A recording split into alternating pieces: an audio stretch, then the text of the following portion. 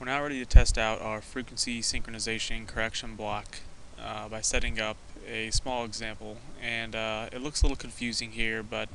most of it is just getting the data ready. Uh, we've used our OFDM transmitter block here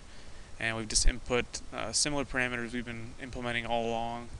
and uh, similar data sequence and then we're basically using the innards of our frequency synchronization block to produce a complex um, um, modulation uh, that will basically represent our frequency offset and then using our frequency synchronization block to correct it and we're going to look at the spectrum uh, so we can kind of visualize what's going on when we don't have coherence between our transmitter and receiver. So let's go ahead and look at the front panel now and um, I've set it up in a while loop again so that we can watch the spectrum change in real time. So let's go ahead and run it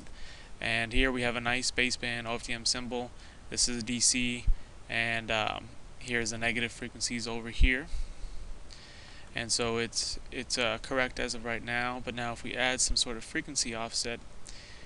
we see the uh, spectrum shift out and it's obviously no longer DC we are 40 Hertz uh, roughly off from our DC component and so what we would do then is in our frequency estimate, we would input 40 hertz and get our signal back down to baseband. And so that's all there is to it. Uh, we can see that it works and hopefully this will help you visualize what's happening when we don't have coherence between our transmitter receiver and how easy it is to correct it by a simple point-by-point -point complex exponential multiplication. If you have any questions, I encourage you to check out the CNX module or email the author.